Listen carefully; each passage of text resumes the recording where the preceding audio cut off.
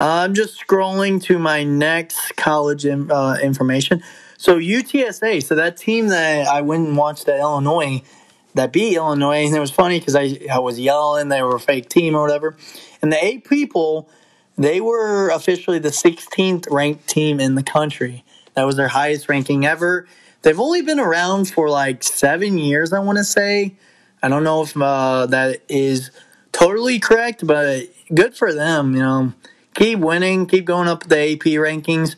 Uh, but unfortunately, once we get into the um, college football committee rankings and talk about that, they were not ranked. So I will go over that in a sec once I get to that information. So let's see, let's see.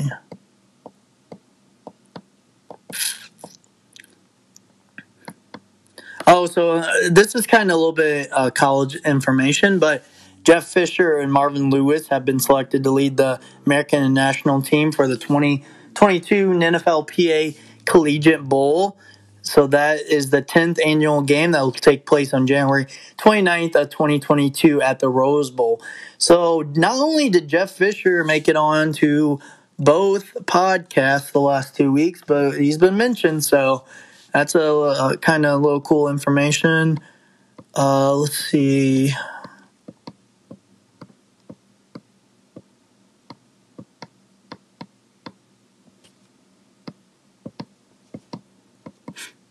All right, so the CB, CFB, so the College Football Playoff Committee, came out with their rankings. So we will go over that real quick.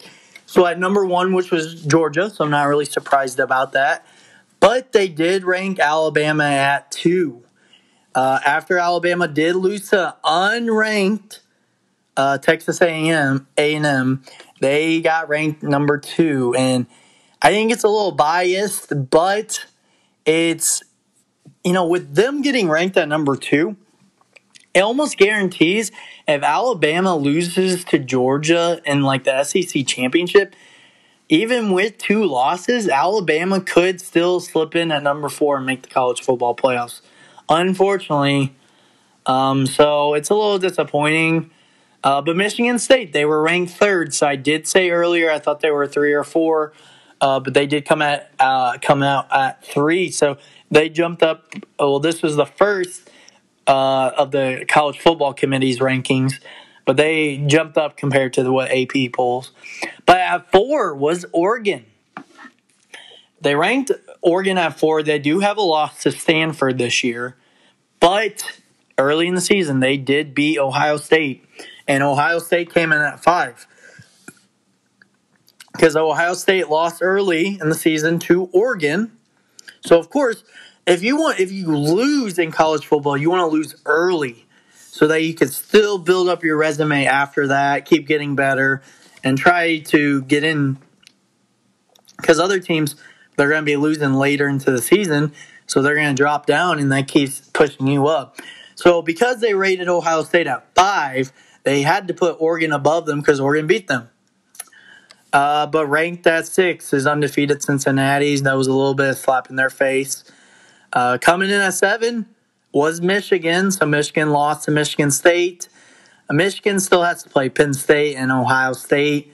I think Michigan's going to lose at least one of those games, maybe both of them. So they're going to drop even more. Uh, Oklahoma undefeated is at eight. It's going to be hard climb for them to get in. Uh, well, if Michigan loses, they'll drop. If Cincinnati lost, they would drop.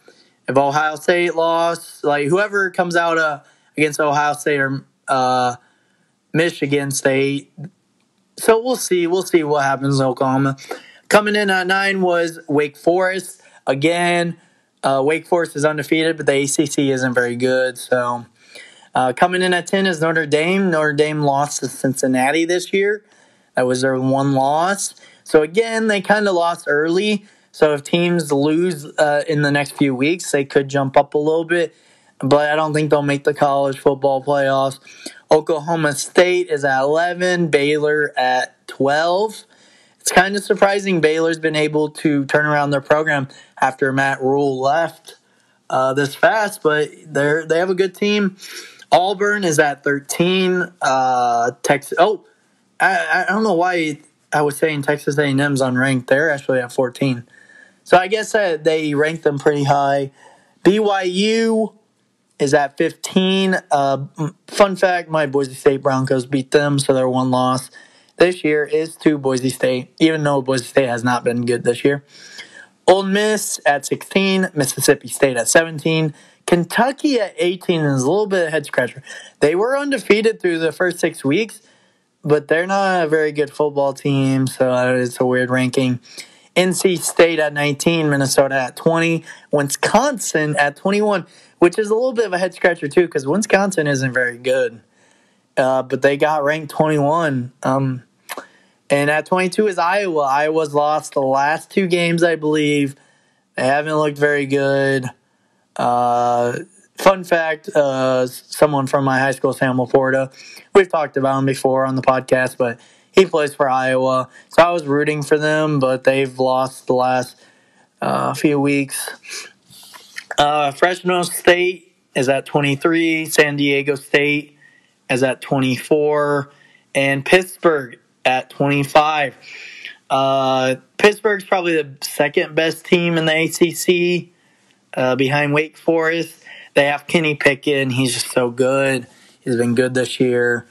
Uh, so uh, good for Pittsburgh. But these rankings are going to change. There's like three or four weeks of the regular season left, and then you have conference championships, and then you start the bowl games. So we shall see how the rankings change, who ends up making the playoffs.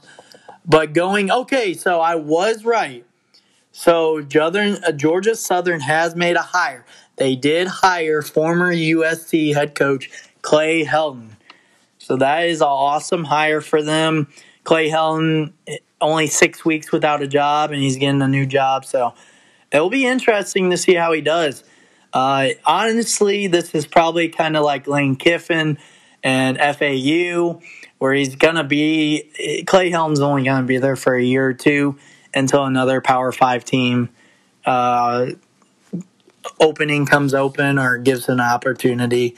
So uh, good for uh, Georgia Southern. We'll see what he can do uh, in that little uh, there. So, again, that is all I have for college football uh, this week. So, uh, I just like talking college football. So, I just wanted to just update you guys on, um, you know, college football in the United States. So, I hope you have a great rest of the day, and it was fun.